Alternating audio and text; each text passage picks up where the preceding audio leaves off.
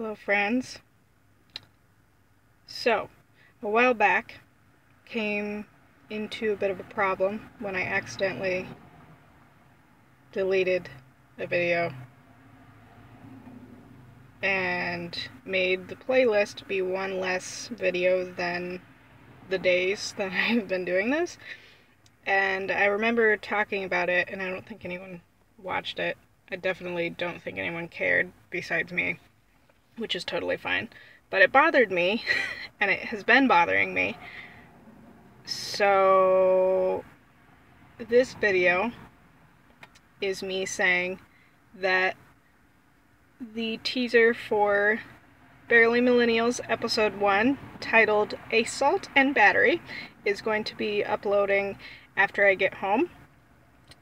It has already been on Instagram, so I'm cheating a little bit.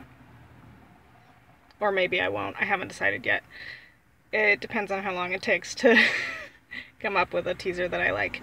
But tomorrow at 4 p.m. Central Time, it the episode will be uploading. Going live, I should say. It's already uploaded. I uploaded it yesterday. It took so long. I watched two whole movies. Which is fine. Also, I don't know if you could hear anything on the phone, but just had to hang up on a spam call because that is the season we're in right now.